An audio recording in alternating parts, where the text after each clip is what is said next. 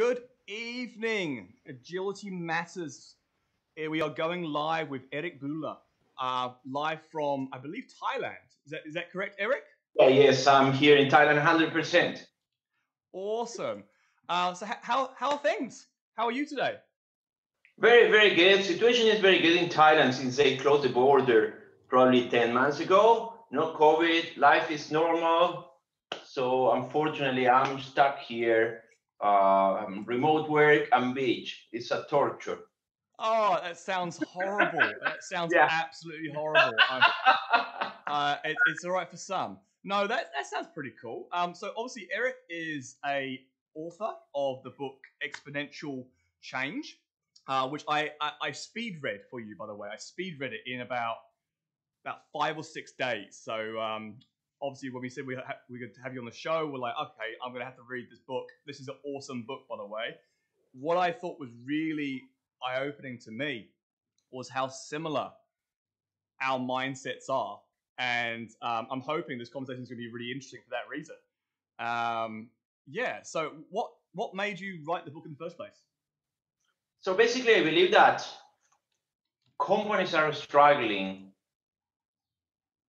When we talk about, for example, my enterprise agility, uh, people know very well how to do Scrum, how to coach um, IT teams, software teams, but it's very difficult to expand agility to the rest of the organization. And in order to do that, they need to understand some additional concepts. And uh, when I started working around the world, I saw that people generally struggle everywhere in New Zealand, in Australia, in Europe, in America, in Latin America.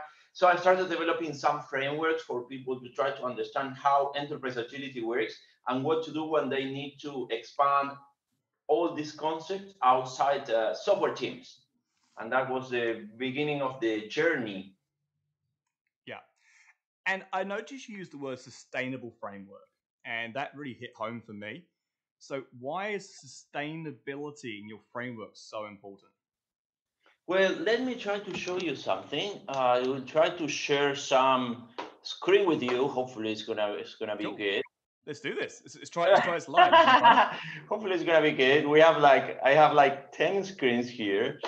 So basically, the idea when we are talking about sustainability is try to understand how leadership works in a company. And then, in order to understand how leadership works in a company, I want to show you something. Let's see. It's gonna take me just one second if it worked. Oh.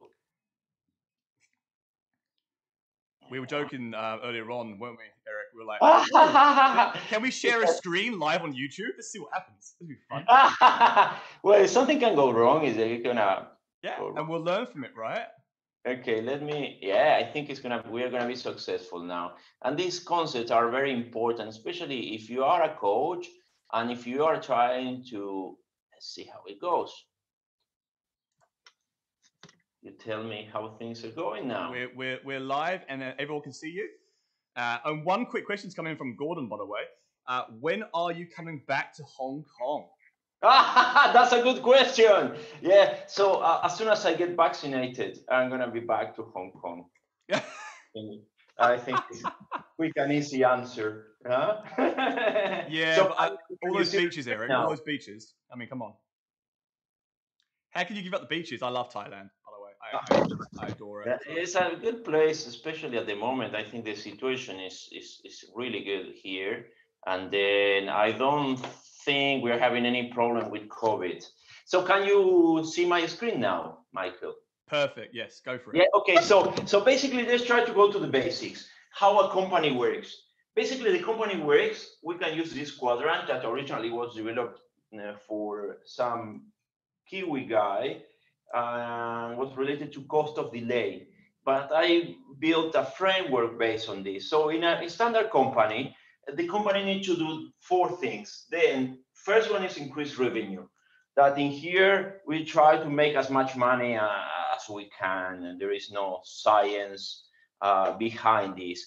The second one is about protecting revenue. If I have a customer or a group of customers, I just try to make sure they do not disappear and I look after them.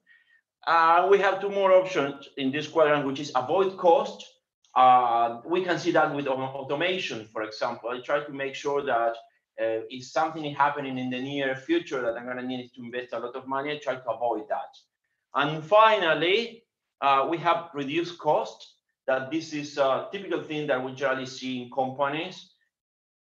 One of these um, things we can see is uh, when companies fire employees. In Agile, we take a different perspective. Every time, for example, we need to reduce costs, we also see if we are not destroying knowledge. As some companies start firing people uh, just to look after the numbers, and then they realize that they destroyed some um, shared knowledge, right? So what we do here is we add a different dimension, one additional dimension, which is about organizational health. And let me try to show you how it works, and we try to see a definition of what organization and uh, organizational health is.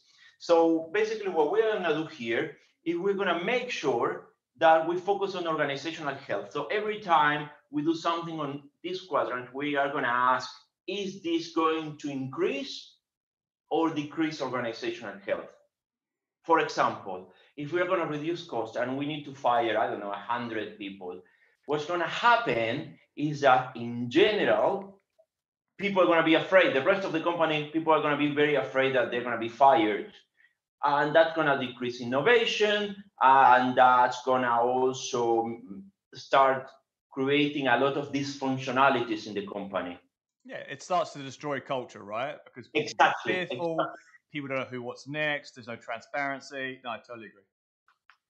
And then uh, something very, very important here is that when we do this, and unfortunately, um, for some reason, I cannot pass it. I need to pass it manually. Uh, I created a definition. So the first thing we had to make sure is that we have a clear definition in which direction we want to go. And alignment is very important for companies.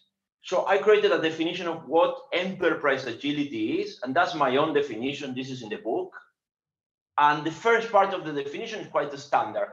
We, we basically talk about the capacity for the company to adapt. This is nothing new. But the important thing is the second part, which says without negatively impacting on its organizational health. And in here, I have a very, very clear definition of what organizational health. And for me, organizational health is psychologically safety, how people feel, if they can talk freely in the company, if I, you know, they can just say, I don't like to do that, I don't like to go in this direction.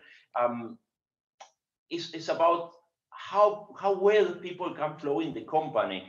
So it's psychological safety plus the creation of a sustainable business value in perpetuity. And for me, the, the word in perpetuity is key because it means that um, we are going to be able to do this today and tomorrow. For example, if you make people work 100 hours to meet a deadline, then that's not sustainable. And yeah, this and, is something very important. And it's the same way, right, Eric, when um, you start this momentum of change and you're getting really good results, and then one of the leaders leave and you stop changing. You know, what happens if you if you don't get that perpetual motion going? Uh, well, I think it, it, when companies, and I've been working with many banks and companies around the world, and you can see it everywhere. And I think that when we are talking about sustainability, we are talking about many things. First is organizational health, that every decision you make has to be sustainable and has to improve organizational health. But we are talking about the habits, or what we call micro habits, is everything we do is incorporated. For example, me, I go to the gym every single day as a habit. And I try to make sure, for example, I leave my mobile phone at the entrance, so I really focus on training. And then I try to make sure I have a routine. So what happens in companies is that whenever we change something, we need to make sure that we we change the culture, but also we change the habits how these people work in the company and this micro habit and people incorporate it. So that means that people are going to do it naturally. For example, if we are talking about people um, trying to innovate, we are talking about people challenging the culture every day, asking themselves why we're going in this direction, trying to make sure they understand what business value is, they challenge the definition of business value, and all our habits that people they need to nurture it. They need to do it every single day once and again. And when something is not sustainable because the leader is pushing in certain direction you can see the you know they change leadership and somehow the companies to stop, move, stop moving in that direction right totally yep. i think it's very important to have this kind of um, good definition about this kind of um, comprehensive definition, which includes culture, includes habit, includes leadership, includes how I make decisions in the company. And all these things have to be happening at the same time and have to be sustainable. Yeah. And I like, I like how, and in your book as well, you have it where you say you know, skills can be learned in days uh, practices and processes could be learned in weeks, whereas culture is years. And I, I, quite like that little diagram you have there. And it's something I've always kind of said, and I probably repeat on the show quite often. You could learn Scrum in three minutes. You could implement Scrum in, in three weeks. You could see results in three months. But if you want and a culture change doesn't require Scrum anymore, it's three years. So it's a long process, isn't it? And I like about this is you're wrapping up culture with outcomes. You're not just saying, I'm sprinkling seeds. I'm just sprinkling the seeds and the culture's going to grow. You're saying, no, these are the outcomes we're looking for. Here's the organizational health metrics that we're measuring based on. So when I test this, it should impact this, right? So did you get like a, a case study that made you had an epiphany to, to do it that way? Like what led you to go in this direction? Well, I've been teaching these techniques for years, and there are coaches all around the world that they have been testing these techniques, and and there are cases in America, there are cases in Europe. Let me tell you uh, something I did in New Zealand, which was quite cool. cool. Uh, it was a few years ago, and it's regarding this uh, little framework I showed you. And I didn't I didn't mention this in the book I did not have enough space to put all my ideas in there. So one day in a company, big company in New Zealand, they wanted to expand the SAP department, the sub department. Mm. And in order to do that, they didn't have enough money. They were paying 1 million uh, New Zealand dollars to this department and they wanted to hire more people. Unfortunately, there were no SAP, more SAP people in New Zealand. They had to bring them from Australia and it was very, very expensive. So the CEO of this company said, okay, what I'm gonna do is I'm gonna fire people in other areas. And with that money, I'm gonna hire more SAP people. And that's something that we can see here. If we do that, uh, that's gonna decrease organizational health. Yep, definitely. And, and then something that is very important, and I generally work with um, CEOs and people in other companies, we make sure that we take every decision. We put sometimes we can do a dynamic where we note down what's the decision or the feature or whatever you're going to do, where in this quadrant is going to be, and then you ask how that's going to improve organizational health. And that decision was very bad. Imagine firing, start you start firing people, and then people start feeling fear and they feel paralyzed. They don't want to go in any direction. So I say, okay, I have an idea. Let me take a look at the SAP department. And they told me that the people there were very busy. I could not interrupt them. So I did something very, very simple. I sent an email. I don't like email, but I sent an email asking them how many tasks they did and how many times uh, unrelated they did uh, in a day. So how much multitasking they were doing. Mm. And then we realized that they were, oh, for some reason, the screen. Can you see me? Yep, you're fine. Okay, great. So uh, for some reason, uh, what happened is that um, they were switching between four or five or six, six tasks each one and they were doing a, a lot of multitasking. And we have a lot of research. Microsoft did some piece of research, and other big companies, uh, we were able to calculate approximately how much money they were losing for uh, this high multitasking. Imagine for one dollar, they were investing in this SAP department, they were losing hmm. around 58 cents, more than 50%. Wow, that's quite that's quite a lot. Yes. So we, we uh, have we have some interesting questions coming coming through. So let's um, let's quickly go over here. We've got Kevin Chin has just asked. Um, oh, uh, sorry. One on one. Today is the day of the technical technical issue. there's there's uh, there's, there's, there's two questions from Kevin, so we'll bring them both at the same time, shall we? Yeah. There we go. So I'm transitioning those in now. There you go. So Kevin says, I'm not sure if I agree that culture necessarily takes years. For example, if you start firing people, culture is going to change very quickly. Good point. And secondly, Kevin's put, conversely, given the right carrot, good culture can be built very quickly. And I guess um, straight back to Kevin, obviously, when we think about what is good, you know, that's a that's a subjective word, right? So, um, what about Eric, from your point of view? Um, when we think about good culture versus bad culture, I guess good culture for me is in line with the objectives and outcomes a company would, would like. But with, with akin to making moves in a certain period of time, I think I agree with Kevin. Short term, you definitely could actually get some movement, but would, can you create a culture that's aligned to exponential growth uh, in a short period of time, or is it a year, a year on year uh, compound? What do you think? Well, so basically, what's happening here is that with artificial intelligence, also companies are using short work cycles, and we have big data. We companies are impacting the markets more and more and more and more. And what's happening at the moment is that companies need to adapt quite quickly, but human beings are not prepared for that. No. And then imagine you start working on something and something change, and then you have to work on something else. And if the companies do not have the right practices and the right culture, uh, then we start having very scarce resources or people.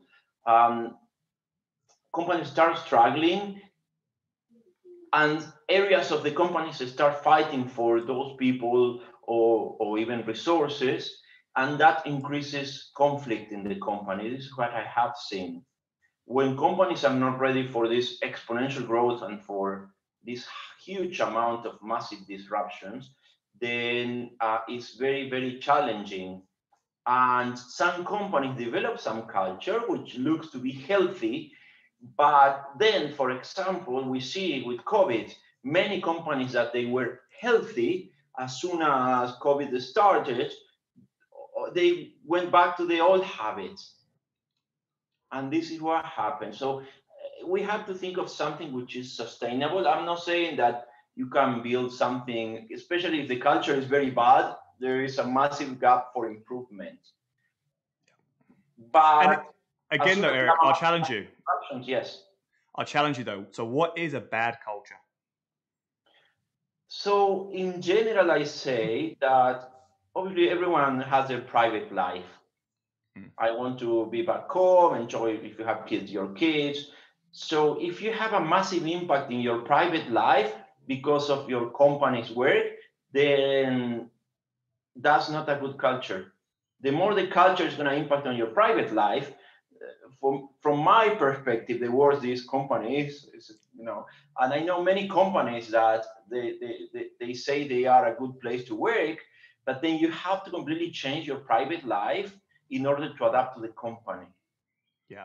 So I guess good culture, is just to, uh, what I'm hearing. So good culture, for your in your view, is is something that has a good balance between your work and your family life, uh, and still achieves the outcomes. So in other words, it's a sustainable culture, right? Is that why? Yeah, that, it has nice. to be. It has to be sustainable. Obviously, you need to be motivated, mm.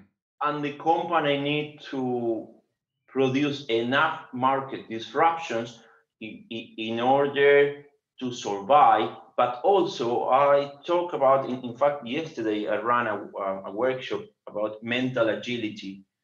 Mm. My idea, and, and this book talks about this, is that if employees in the company do not have enough mental agility, mental agility, from my perspective, is the possibility for a person to see a problem from different perspectives, but also embracing values and principles from that perspective then if the company people do not have enough mental agility, they are not going to be able to adapt. So that's why I created a framework that is all based on five. And I wanted to show you this. I will try to yeah, share my screen again. Let's yeah, see. Because that's one of my questions actually was in your book you mentioned many variations of agility, and I wanted to know, you know, what are they and how do they all intersect? Because obviously there's like a five or six, and they almost obviously they intersect in, in a certain way, right? Yes. So yeah. from my perspective, let me try to show you. I want to show you a particular yeah, go for it. Um, screen that I well, haven't. Why, why Eric's doing that, guys? Uh, for those online, any other questions? Uh, feel free just to put them all put them all down. Um, yeah, how how you like us testing our new hypothesis? You know, we're trying out. Uh, so Eric sharing his screen on Zoom. I'm capturing that and sending it back to you guys. I'm not sure if it's efficient, but we're working. but at least you have the you have the information there, which is the, the it's working. It's working. Yeah, I hope so. So I will share with you guys now. Let's see if it works and how it works. That's a mystery. We're gonna try to find out now. Let me see if you can see a chocolate cake. We can see a chocolate cake. Yep. Yeah, let me see. Oh, that's in Spanish because this is not the one I want to share with you unless you want to. Uh, Espanol? unless you want to. So basically, uh, from my perspective, whenever you want to um, improve the culture of an organization, you have to consider the idea of mental agility. And mental agility is quite interesting because mental agility means that this person is able to um, reframe problems in order to see problem from different perspective you need to make sure that um, you are able to sweep from one move from one side to another and then to mm. see this perspective from different points and this is connected to enterprise agility and that's the reason why okay i have the right one here finally so i'll ask you then so um, do you have a definition for agility for us sorry again do you have a definition for agility for us what would be a nice succinct agility definition? Yeah, so for, for me, this um, mental agility, let me show you this definitions. Yes, mental agility is a capacity, actually, the, one second, I'll show you the screen, is a capacity for a person to see this um, from a different point of view, but is connected to also the definition of business agility, which is try to keep organizational health uh, very high. Try to make sure that when we um, think of organizational health, we are also considering that a person that is feeling fear in the company is not mm. feeling safe, then is less flexible to change. And we have a lot of research about that. We know how the amygdala, which is in hmm. the center of the brain, works. And then, okay, the cake is there. Can we see the cake? We can see the cake, yes. Okay, that's a very good start. Everyone, so everyone, everyone online enjoying some cake? it's low in sugar, very low in sugar. Okay. so this is a cake. So people mm. generally try to eat a cake vertically, right? And here we have mm. five different kind of um, agility.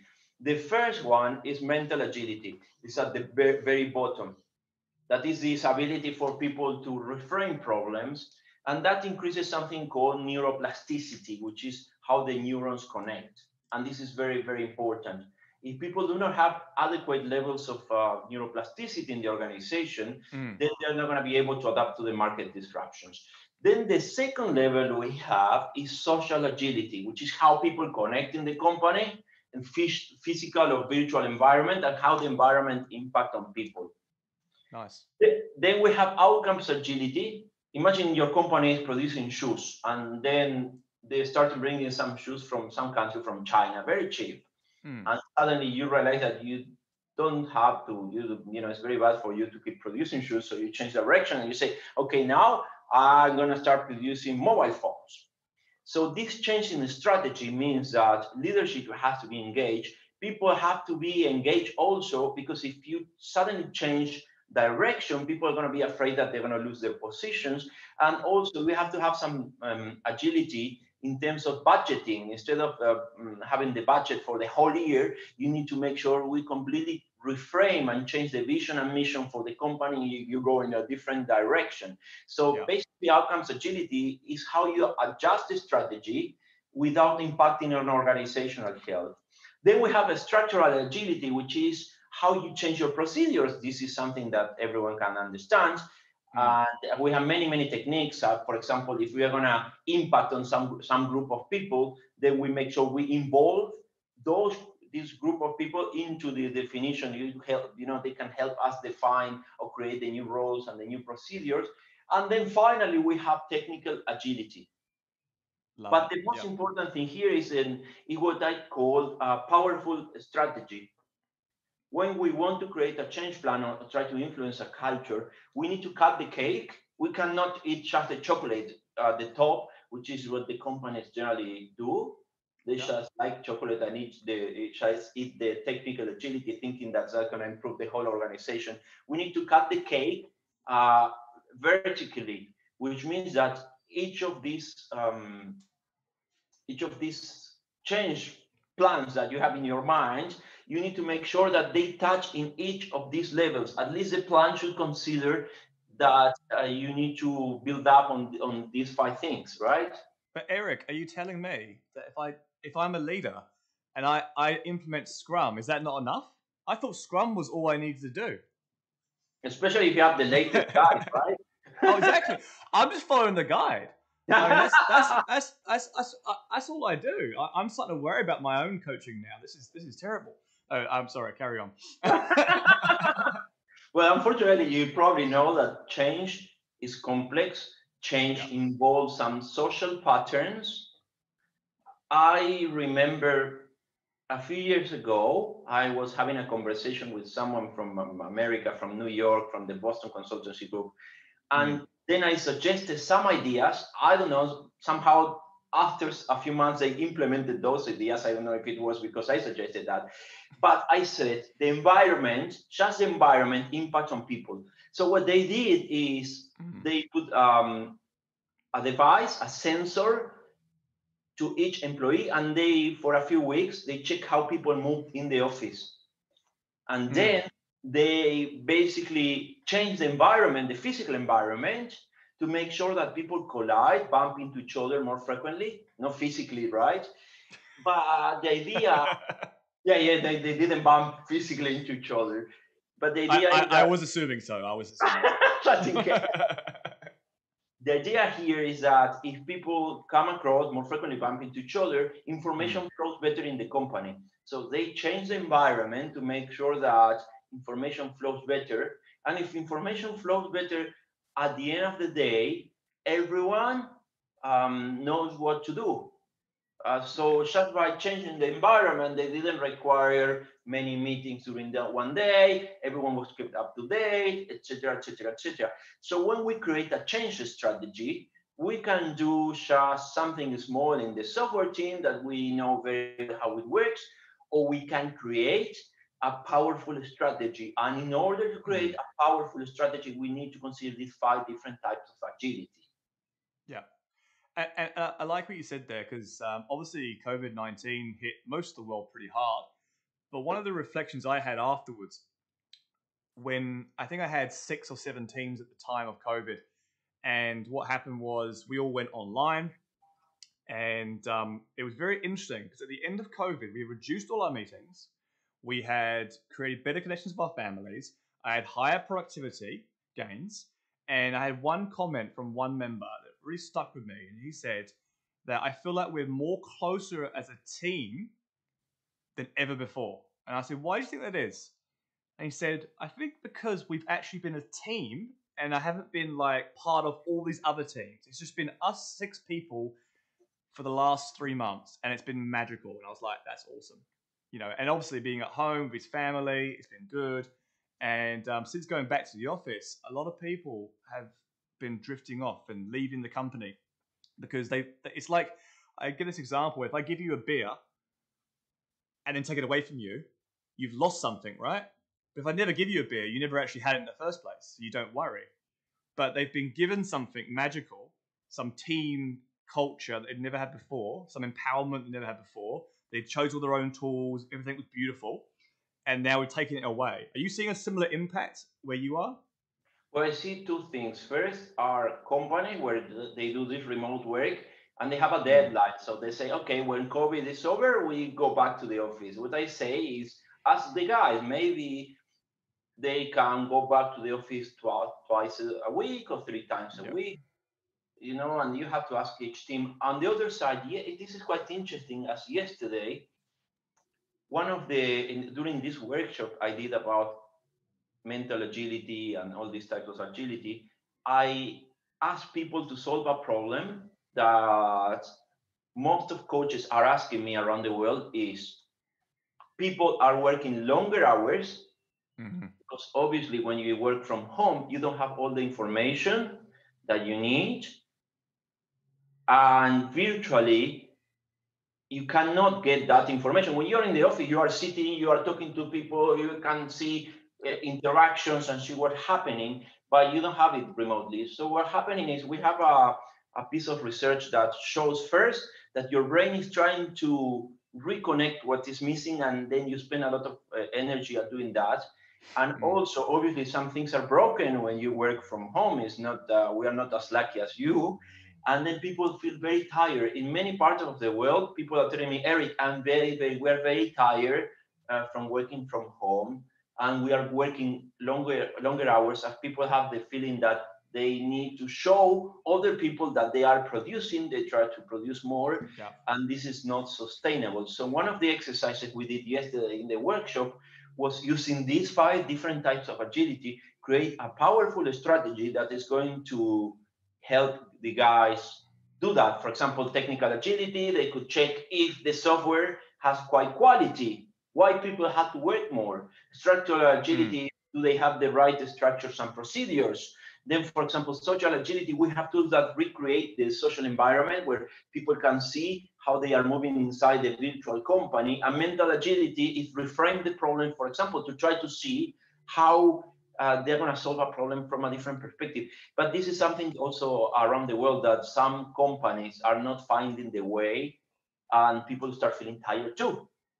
Yeah, yeah, it's definitely uh, pros and cons. I, will I'll definitely give you that.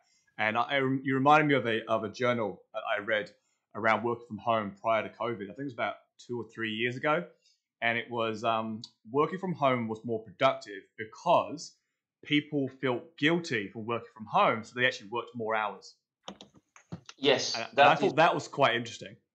Yes, people generally mm. uh, work more hours, and let me share something mm. with you. Which is the the next one, and this is something I wrote two or three years ago, but still still in the same way. This is I'm grabbing this from a presentation and this some time ago. So basically, when my recommendation is when you have people that are working from home, uh, we do what we call rebuild the social environment.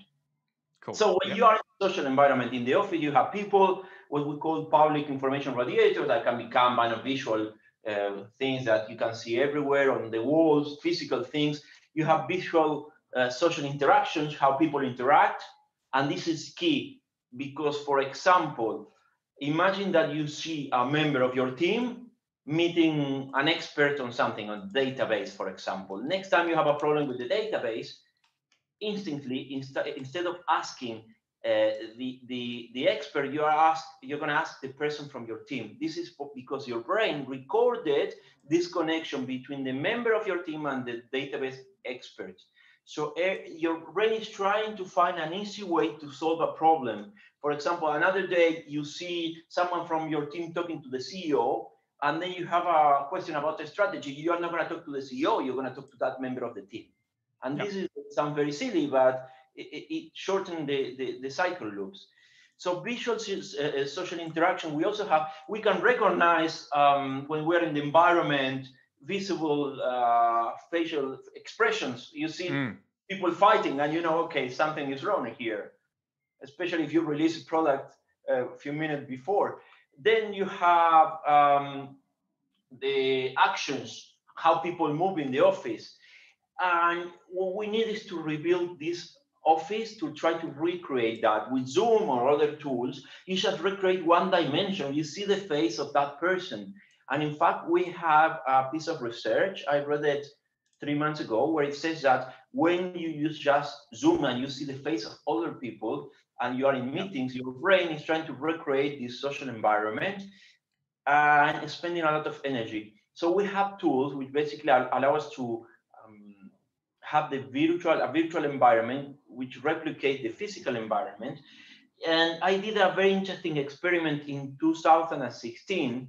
I was helping an airline in Latin America, and we did is mm. uh, what we did is we put cameras everywhere in the rooms and Kanbans and everything, and we connected it with a piece of software. This case, case is Sococo, but there are more uh, that you can find, and we recreate in that piece of software the environment. So where you could see when people moved in the office, you can we could see it here, and then when you click nice. in one room, uh, you open the room, and then you could see all the cameras, and, and, and you don't know if the person is virtual or is in there. And so, so you can also see if everyone is going to a room and then you can see that, then you're going to go to that room physically or virtually. So we need to recreate the, and this is something I, have been talking for three years already, mm. is to create the, the social environment in order to produce kind of similar experience. And it worked very, very well with this client at that time. I actually really like the software. It's actually pretty, pretty cool, actually. Uh, I haven't been able to implement it anywhere so far, but I actually I really do rate it. I also found a little workaround. I was working with a, a uh, vendor client, and um, I didn't realize the first couple of meetings, but they all had a um, Zoom background of where they sat in the office. Uh huh. Good. And because obviously they didn't have green screens, like my wonderful green screen behind me, like this, um, you could pick up on it was fake. But I thought it was genius because what they've done is they've replicated where they sat in the office so that you can connect where they are in the office, even though they're at home. Yeah, which makes things easier for your brain. Your yeah. brain is trying to imagine and to deduct your brain is looking at things all the time and trying to deduct okay what's happening here? There is fear. You know i should feel like uh, in which mode i should feel. I should be in a productive way. I should be protected. How i should feel here? Should i communicate? You know he's trying to the brain is trying to deduct all the time what's happening and this is a great thing to do because obviously it helps people feel better. Uh connect or at least the connection is going to be better between people. Yeah. Why yeah why is trust so important for change well, let, us try to analyze it from um, the physical point of view. Your brain, when you don't, don't do not trust someone, then you get into a kind of protective mode, and that activates an area of the brain which is called the amygdala, which releases a lot of hormones into your brain. Um, it puts you in a kind of fight or flight mode. And when, if you don't trust someone, you don't share that much information, and then you you basically do not care that much about that person. And companies are all about the quality of these conversations. Yeah. So when there is no trust, the what we call social density, how information flows in the company decreases, and then decreases innovation and uh, decreases business value uh, that you can produce, and also uh, you increase bureaucracy because people start covering their ass uh, and sending emails just to make sure that you know I told you that day that it was not possible to do that and these kind of yeah. things.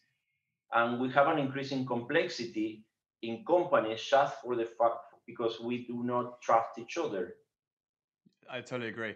And there was a really good point in your book. I, I um, I, I think it's my takeaway point. So as we come to the end of our hour, my takeaway point from your book was probably not something you may have expected, but you wrote a little triangle around business agility and the three impacts of changing business agility, right?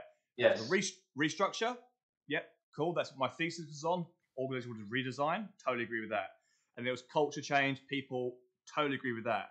But the one thing that I did not see coming, I, I, I had to spend a good day and a half reflecting on, was not a digital transformation. You said specifically it was a technology transformation to move the almost the barrier of entry of the task down the scale so that it's easier to be done. And I thought that was actually really good because you could get an adaptive, flexible, responsive organization just by implementing technology that no longer requires such high motivation. It actually requires a low motivation, almost automated task. And I thought that was really cool. Do you want to expand on that a little bit? Because I thought that was really good. Yes. So basically, I talk about habits also, and I teach about habits. The idea is that, yeah, people really need high motivation to do things that are hard. If I need to do something which is very hard, I need high motivation. But then, when we are talking about companies, um, for example, automation and other things, we can automate things and then we're going to make life easier for these people which means that when we are for example in a company's transformation we also need to take a look at th- these micro habits. If you change something very a piece of technology or whatever you change in the company and you make sure that that thing that you change it makes uh, life easier for people then they do not require much motivation to do that. And then people can save this motivation uh, for something else. And there is a connection between uh, this and flexibility in the company. Um, i think it's very extensive topic to talk but i think it's oh. very very important that people understand that if we make um, things easy for people then first people are going to save that energy for something else maybe for being able to adapt to other things but motivation is very important but also we need to understand why we need motivation for to do something. Why, for example, we need to be motivated to repair a piece of software that is full of bugs. Why you need to be, be motivated? Nobody's motivated to do that, right? Uh, I I'm hoping some people love incident management, but yeah, I, there I, are I there are people that yeah, I met a few people probably. um, no, I, I just want to if if anyone wants to um, buy your book, it's over on Amazon, correct? I actually bought the Audible, by the way. I thought the Audible was easier for me. Um, but you I, know, you can you can also uh, see the the pictures of the book are downloaded into the audiobook, as many people do not know. Yeah, no, and Audible has just updated it. I think it's this year sometime that you can actually get it from the mobile app, which I, I find so much easier. Yeah, and sure. um, that's actually where I found that triangle, and I properly understood it. And I thought that's that's the key bit of information that I think I'll be taking away from the book is actually if you have if you're struggling because triangle right you could change one dimension if you're struggling with motivation then make it simpler and that will allow flexibility if you want to change for adaptive organizations you need to change the structure of how the work's created i love that and if you want long-term goals then i think the culture change makes more more sense as well so that was pretty cool um, yes, and something important, Michael, is that mm. people generally imagine, as I see that in banks, they have like 100 coaches, 200 coaches. They believe that, you know, if I'm going to run a marathon and I have more people, I'm going to go faster. And I always say, what if you could change a minimal thing in the company and that's going to create uh, the maximum impact? What about taking a different approach? Uh, for example, I did in the book about micro habit. Change a habit, and I show you a couple of examples where that tiny habit have a massive impact. So what about instead of having massive backlog of, of transformation teams and areas of the company just focus on, on transformation, then we shall have a backlog where we put first tiny things we can do in the company that's going to have a massive impact, positive impact in organizational health and also um, in uh, the way we create innovation and we deliver business value. Yeah. And it's interesting you say about banks. It's not just bank. I, I, I don't know if it's just over in Australia and New Zealand. That's where I, I specialize in. But I'm finding, I give a, an example. Someone called me up, I think like three weeks ago, and said, "Oh, Michael, we have 15 teams so, can, can you tell me how do we scale up to 15 Scrum Masters? So I, I, had this like in my mind, like, why yeah. do you want one team per scrum? Are your teams 50 people? Like, oh no, our teams are five people each. And they're like, okay, you don't need 15 scrum masters. Uh, I, speak, I think I spend most of my time recommending to downgrade your scrum masters. You're not going to go any faster by having 100 scrum masters, 200 coaches. If you just make small little changes, you're actually going to have a bigger impact and a much greater ROI. Are you seeing a similar uh, thing over your way, over in Thailand and Hong Kong? Uh, not really. I think it's it depends on the company but this now what joking. It happens everywhere. It happens everywhere michael. You cannot imagine. People love complex things and the bigger the company the the bigger the plan it is. Also i imagine it is because some people want to get their bonuses and more prestige. Yeah. And they generally go for complex things but also our brain always try to find it, it, you need to that's why i focus on my framework. I focus on mental agility. We nice. need to make sure that everything we do is simple and simplicity is an art that we need to master and we need to master every single day. And i say uh, yesterday i have around the workshop i had like 190 or 100 uh, coaches and I told them, listen, you need to teach your customers how to embrace this mental agility, how to make things simple. But you have to try it with yourself. It's not that I do it, but you know, with you, but I do it with I don't do it with me. And I asked the guys, how many of the techniques, guys, you use, you use it with you? Mm. Yeah. And we are easy at recommending things massive plans and massive things, but do you really at home do that with you? Oh, and that's what I love. There was a comment. Um, it was Erica. Um, she's from Auckland, agile coach there. Great. Shout out to Erica. And um, she introduced me. It's probably widely used, but she was the first person who really made me think: Are we drinking our own champagne? Mm. Right. And I love that statement. And I guess I I probably ignored it till then. And I thought, well, we must be right why would we be recommending all these things if we're not doing them at home?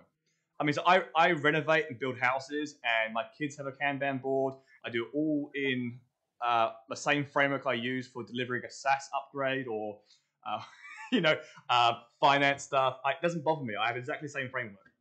Uh, what works for me. But I find I'm seeing coaches who don't even like, they don't even have their own to-do list, and they refuse to have visibility on the changes that they want to actually focus on next. And if you can't even do that as a coach yourself, how do you expect for other people to believe that it's the right way of doing things? Well, I'm gonna be very mean, but something happened in Hong Kong is that there were a lot of people with zero experience in, in agile, and suddenly their CVs mm. uh, they move into this agile world, world, and all of them were agile coaches. And uh, I'm not talking about people who just try to learn, constantly learn and improve. There are many people mm-hmm. that are coming from other backgrounds and they are trying to improve. And I appreciate that. People mm-hmm. trying to learn and try, people trying to improve. But also, we have to see that in this industry, agile coaching is quite profitable. You can make some money, but also you have people coming from other areas and trying to understand this quite quickly and then focusing on processes and complexity. And sometimes you have to work with those people. And then you come across people who do not uh, practice anything of what they recommend to the clients. Yeah, and, and Eric, I give it. I, I, lo- I love that that's perfect. It's very profitable, and to be honest, 95% of this industry is overpaid. They really are. And what frustrates me about the visibility side of things is if you want $1,000 a day, $2,000 a day, where is the customer value you are actually increasing? Show me the ROI. And one of the um, one of my clients once said to me, I need I need two people in for six months for these four teams. I said, what's the outcome you're looking to achieve? I said, ah, we want Scrum. I said, awesome. Um, I require 14 days for one person and um, six weeks part time for another person. and they were flabbergasted. They had Scrum up and running. They were continuously improving by themselves. If Scrum's all you want, you don't require someone for six months. It's it's not a requirement. If you want to restructure around the work, maybe that's a little bit different. But actual Scrum mastery to get Scrum up and running, if that's all you want, very simple, very cheap um, for the right person. But a whole bunch of contractors are very happy to stay in a role and make their role what's the word I'm looking for? Make their role needed. And I think the whole point of a scrum master or a coach or whatever you call yourself now is to make yourself redundant as soon as possible. So that's the KPI I give to myself. How quickly can I get these people up and running so they don't require me anymore? And that's what I that's what I love to do. So I I, I, I love that. I do have one more question for you. Yeah, as we're finishing up. Um, so we've got where is where's that gone? So Gordon says, "How do you convince finance to be agile?" And the reason why I've chosen that question is because it's quite common. People, I mean, I'm an ex-accountant, so I don't get this. I, I'm like, what? That's easy, right? Just show them the figures. But um, from your point of view, finance is that a problem? Well, problem? first of all, thank you, Gordon. Uh, the first part of the question, I say, how do you convince someone to do something? I, I think it's very difficult to convince someone unless it's your couple, is someone you share time with. Uh, so I recommend a different strategy. Hmm. Instead of convincing someone to do something, I just say, okay, if you need to convince someone to do something, it's because th- those people do not want to change. Unfortunately, we do not have time today. I wish we had more time. I have Yeah, we've run out of time. we have time. No, we've run out of time. Oh, okay, okay. Because otherwise, I would show you the pyramid of the change journey, which is a framework to to change mindset. But basically, what I say, if people, um, if you have to, to just convince people to change it, they do not want to change. So try to start first with some micro habits in order to change some tiny things. Second, make sure leadership is on board to make sure that uh, they have a proper vision and mission. And then uh, this happened in New Zealand, a, a bank, I was helping a bank, and then the financial area, they never worked together, never. And they had to work together to do something. And the key point here was that they were not able to solve the problem unless they worked together. So they came back to me and said, okay, now we have to work together. So how how we can do that? So we defined some initial working agreement. But I would say to Gordon that do not try to make people lives because they are not going to like you. Try to make sure if there is a tiny habit first, and then work with leadership to make sure that they have the need to do that. And then you need to identify why people do not want to do it. It's mainly because they are feeling that they're going to lose prestige, uh, they're going to lose their jobs, or there is some uncertainty. So this is the kind of thing you need to solve first. When you see people saying, I don't care about the change, I don't care about you, that means generally is that I want to protect where I am. If you show me that it's worth to do whatever you want and I'm gonna get more prestige and I'm gonna get more power or opportunities, then I'm gonna go in that direction. And but you have to teach me how to do it. And this is Yeah. how I would probably do it. Yeah. No, I, I, I totally I totally agree. And for finance, per, you know, from my point of view, if you show me that I'm going to get more value quicker, and I'm going to get I'm going to reduce my risks, I'm never going to say no. Please break things down into smaller sprints or quarterly deliverables. Of course, I want those benefit realizations faster. Of course, I want higher, higher internal rate of returns. Of course, I want higher ROIs. Um, yeah, you show me that, you can do whatever you like. I'll give you, I'll, I'll let you draw down your funds quarterly for all I care. But yeah, and it's also very- there is something important you said, Michael, is about the language. yeah, because if you, You gotta need use connect, the right right? for those people, right? Yeah. And that's one thing that um, people who know me probably know.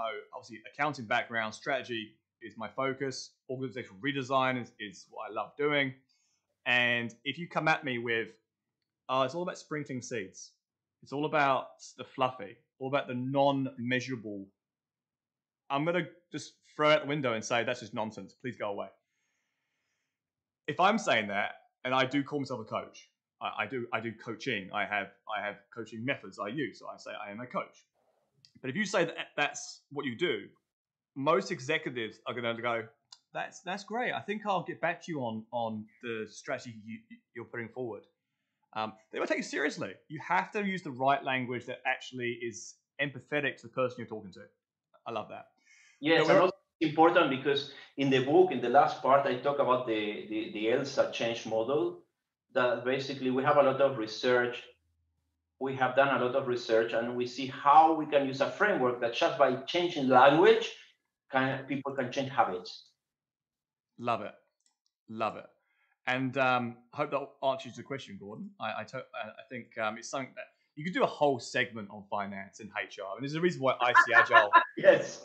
There's a reason why IC Agile how has like um, you know an agile agile finance course and agile HR course because they're kind of the two main ones people raise in not only these. Uh, well, but let, let me tell you. Let me tell you something. That's why I believe that if you teach certain technique to those people and you increase the mental agility on those people, uh, they are going to be able to see what your problems are. Yeah. And that's why it's very difficult. You know, you give a, a problem to a software team, the same problem to people who studied economics, and the same problem to a painter, and then those three people are going to come up with different ideas. This is because what you studied in your life changed the way you think and also uh, give you some framework for developing solutions. Mm. And in order to, to do the to change the way that people come up to different solutions, you need again to make sure you master reframing, uh, you make sure that you, you change certain things in the way they think in a way that they feel comfortable with that, that they are able to reframe the problems. Otherwise, mm. finance in an in a software team or in an another team, or even if you have lawyers, that makes things worse in terms uh, of integrating them into the team. I'm not saying they are and, bad people, right? no, and they're not bad people. And this is what's actually really interesting. And we have to not go into this, but just to lay a seed. There you go, I'm laying seeds now. To lay a seed for next time. I, I think we need to chat more.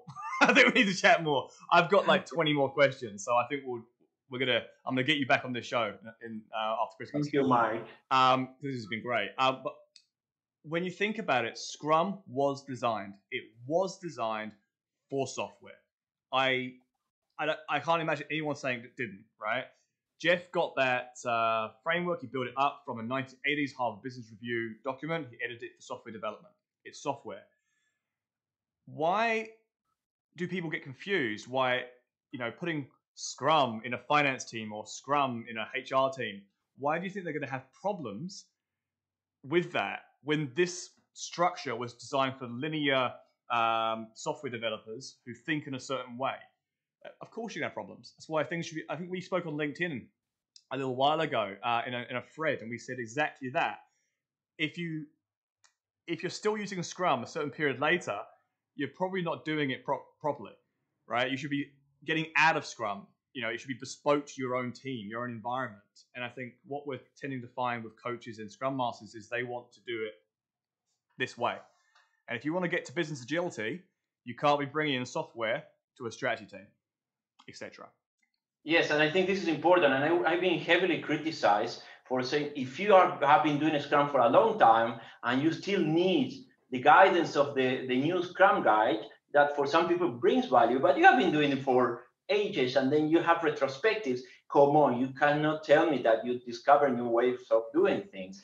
And when i when i did the workshop yesterday that we were using certain techniques to create these powerful plans i mm. told all the guys uh, that all the solutions they couldn't use scrum or any well-known framework. They had to solve the problems in a different way. And they struggled for half an hour until they got it but there, there, is a, a, a, world outside there. You have more techniques coming from sociology, coming from psychology. You have things you can copy from other companies. There are million of things.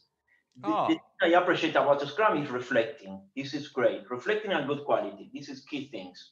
One of the main frameworks I actually promote is called the orchestra model, right? And when I recommended that to someone, a, a coach piped up and said, oh, that's Scrum. No, it's not. It's the orchestra model. It, it's a specific model for delivering work uh, based on strategy. It's nothing to do with, with Scrum. But then you realize that in the world, especially in our world, if you even mention iterations at all, oh, Scrum owns that. That's Scrum.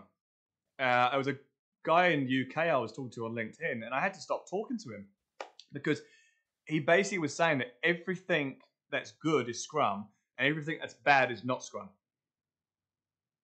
I, I was baffled by that comment, especially from a coach. And um, so I, I, think we we'll have to stop because I think otherwise we'll carry on. But um, I've had a fantastic time. I hope you have. What's your? What, do you want to give me a reflection? What's your reflection on the last hour and ten minutes?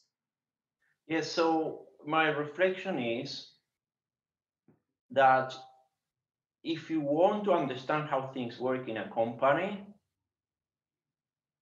you need to see that there are different mindsets and you need to make sure you talk to different mindsets in different ways and you provide different frameworks for different people and different uh, also practices for different people. I I love it. Thank you very much. Thank you, Mike. Um, that's been awesome. So, um, to everyone out there in the Agile Agility world, thank you very much for listening. I know we went over time. I do apologize. Bad facilitation, Michael. Bad facilitation, Michael. My reflection from today, I think, is that I'm starting to grow as a coach by meeting some awesome people outside of my circle and realizing that there are some things that are different out there. Doesn't mean they're bad. There are some things that I'm finding are fantastic tools with with with subset ideals that I didn't know about, and that's where I'm I find the true value. Uh, I'd like to thank Erich for coming on the show today. It has been fantastic. I'm definitely going to grab him back because that was uh, I have too many questions. um, so I'm going to um, say good night to everyone or good morning, and um, thank you very much for listening. Yeah, everyone have a good night. Thank you.